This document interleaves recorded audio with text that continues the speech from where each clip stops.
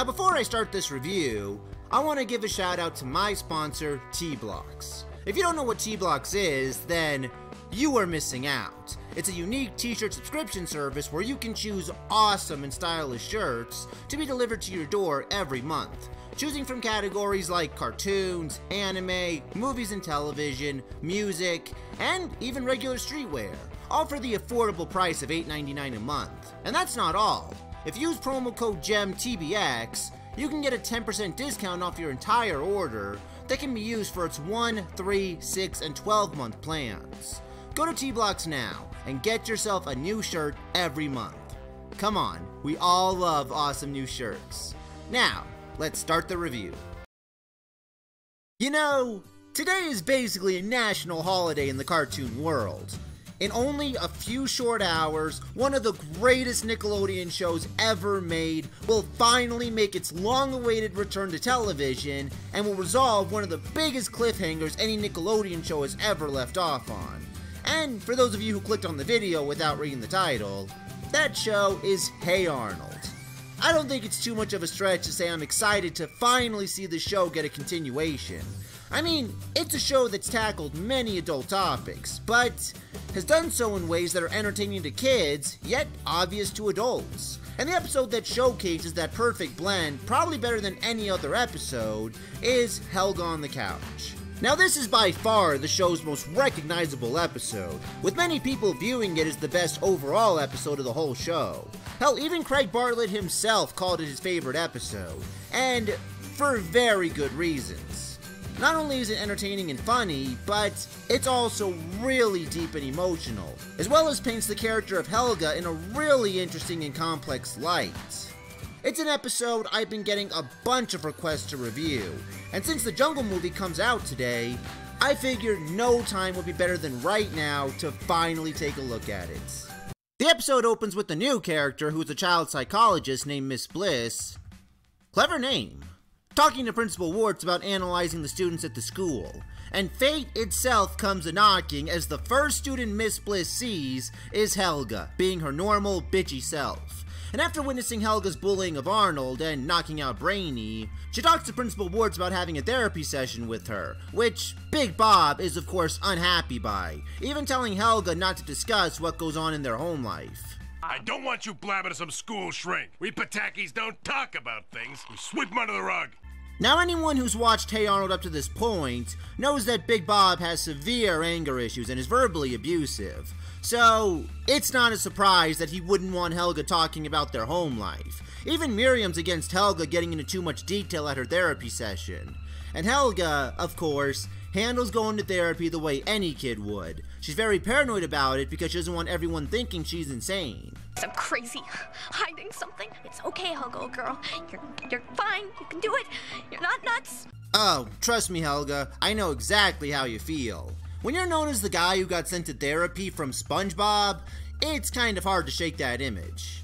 Okay, in all seriousness, that's a pretty common misconception about therapy that keeps a lot of people away from it. The thought that it's only for people who have some kind of mental illness even though therapy can be very useful to people who just have a lot on their minds, be it from going through a breakup, losing their jobs, or just being stressed out in general by daily life. And the episode does touch on that verbally for a brief second. Are you wearing a disguise because you're embarrassed about your upcoming session with Dr. Bliss? Because in this day and age, therapy is perfectly acceptable and quite useful. But honestly, a verbal telling isn't the most effective way to change people's views on something like this, and the episode understands that because it shows you the effects of therapy and how it actually works, as well as why therapists are professionals. Miss Bliss doesn't cut right to the chase with Helga. She actually humors Helga and plays towards things that'll make Helga feel comfortable about opening up to her. She shares some hobbies she had as a little girl that Helga has as well. She talks about how she had an older sister who got on her nerves. Hell, she even discusses destroying something her sister had just to get back at her once. And my sister kept it. She said, you'd just break it. I was so mad. I snuck in her room and I broke it when she was sleeping. All this stuff makes Helga open up about her own relationship with her sister Olga, expressing her jealousy towards her sister and the inadequacy she feels around her, as well as how her parents treat her when Olga comes home. She talks about how she hates when her sister comes to visit because it makes her parents extra neglectful, straight to the point where her own mother can't even remember to make her lunch and forgets to pick up her coat from the dry cleaner when it's frickin' winter time, forcing her to walk to school in the snow. I'm going to school now. Aw, man, that's fucking cold. Pun not intended. Now I discuss my own views of Olga's mental state in my top 10 best Hey Arnold episodes video by saying it's clear that Olga herself is a victim of her parents' treatment, but in a different way. Whereas Helga has developed hostility and anger issues because of her parents' constant neglect, Olga's developed perfectionism from their smothering treatment, meaning she can't actually enjoy her own accomplishments because she views them as the norm. Some people were not happy with that association though, and actually used this episode in particular as evidence that Helga has it worse than Olga, because Helga actually has to see a therapist because of her parents' treatment. And I disagree with that completely. I think both of them need to see a therapist. The only difference is Helga's problems are a lot more out in the open and can't be hidden well. So eventually someone was bound to notice that she should see someone about her issues, whereas Olga's problems can very easily be hidden. It's like how depression works, it's very easy to overlook. It's usually up to the person themselves if they want to try and get help for their issues. And Helga didn't decide to go to a therapist, she was basically forced into it. But it's not the same with Olga because it's hard for an outside person to tell that there's something wrong with her. Now, I'm not saying Helga's wrong to feel the way she does. In fact, she's perfectly justified, especially with what's to come later in this episode. I just think both sisters are damaged in some way, and it shouldn't matter who you think is more damaged. Anyway, while venting about this, Helga almost indirectly reveals her feelings towards Arnold and tries to leave before that happens. But Miss Bliss reveals that she already knows Arnold means something to Helga, and it's pretty interesting the way she describes it. You threw 57 spitballs at him. You stared at him the whole time, and you called him football head. Yeah, so what's your point? That's a lot of attention to pay to someone, even if it is negative. See, this is what I mean when I say this episode is more showing you how therapists operate. They're trying to notice things you'd never think would show how you're feeling, and they know how to explain it to you in ways that you can understand, thereby making it easier for them to teach you how to better deal with these issues. Helga denies that she has any hard feelings towards Arnold and tells Miss Bliss that she just likes to bully people. So Miss Bliss agrees to stop talking about Arnold and instead moves on to other tactics like ink blots and word association. But when those also almost make Helga reveal her feelings towards Arnold, she has to change the subject again. So Miss Bliss goes right back to Helga's home life, revealing sympathy towards how Helga described it. And this makes Helga go into even more detail, revealing the absolute worst of it. She reveals that even when she was in preschool, her parents would constantly ignore her and smother Olga with their attention, and that they wouldn't even drive her to preschool, which forced Helga to walk there herself. And god, this is just an overall depressing scene, but it also reveals this. So nobody's ever noticed you. And there was someone.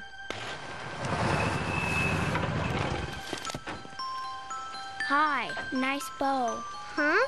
I like your bow because it's pink like your pants. This scene just made everything about Helga's obsession with Arnold clear. Like, more clear than ever before. Even though up to this point it was kind of clear that Helga had issues, it was never fully clear why she was obsessed with Arnold. But this episode reveals that it's because he was the only one who gave her any kind of positive attention. And the reason she hides it is also pretty interesting. It's because the other kids could tell she had a thing for him and made fun of her for it. But not only does it reveal why she hides her feelings, I also think it hints that Big Bob might be physically abusive. Quit laughing, geek bait, or you'll have to answer to old Betsy and the, and the five Avengers. Old who and the five what? My fist, stupid. That's their name. Now, Big Bob is clearly a. Well, big asshole. He's verbally abusive, he has no filter, it's clear he's got anger issues, and it's obvious some of that rubbed off onto Helga, hence why she's always making fun of Arnold and always verbally threatening her classmates. But the thing is, watching her get physical with them as a kid and listening to the way she phrases her words, like very similar to Big Bob, it leads me to believe that Big Bob might actually be beating his family. I mean, I don't know if he's beating Helga per se, but I wouldn't be shocked if he beat Miriam in front of Helga. I mean, Miriam's hinted to be an alcoholic, with hard liquor being subbed out with smoothies, and her characteristics do seem to fit that of an alcoholic. Passing out in weird places, making excuses, clearly having cloudy judgments. Hell, she's even had to do community service at one point. Remember, you're starting your community service job down at the animal shelter today. But there are some hints sprinkled in there that she's got battered person syndrome too, hence why she always seems to be on Bob's side, and also doesn't want Helga talking too much about their home life. So, that alone adds some sympathetic layers to what Helga has had to live with her entire life, and it's really hard not to understand why she's the way she is. Miss Bliss finally asks Helga the million dollar question why she takes her anger out on Arnold, and tells Helga that if she's afraid to tell her, she shouldn't be because Miss Bliss is sworn to secrecy and can't reveal what goes on in a therapy session. And after hearing this, Helga finally tells Miss Bliss her feelings for Arnold.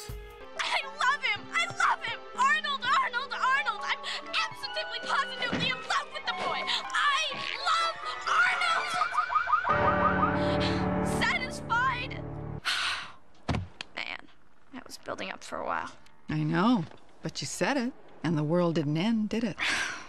No. I really like that scene too. I like how it paints Helga as having gotten a weight off her chest. Now, this wasn't exactly the first time Helga revealed her feelings for Arnold to someone. She revealed them to Lila in school play, and there were even hints that Phoebe knew about Helga's crush. Let's put it this way, Phoebe. If I don't stop sleepwalking, I could wind up revealing my most intimate, guarded secret. You mean yes! Actually, I take that back. That's not a hint. They're straight up saying that Phoebe knows. But what makes this reveal so great is that it shows Helga having a better understanding of why she likes Arnold, and how her feelings for him, as well as the way she chooses to express them, aren't abnormal. She even gets a better grasp on why it's important for her to tell him someday, which seems to give her a feeling of closure. It's an overall powerful conclusion to the session. Helga reveals that she enjoyed her session and wants to take more, before walking away, finally feeling the weight of the world off her shoulders for once. Hey, Helga, how you doing? Looking good.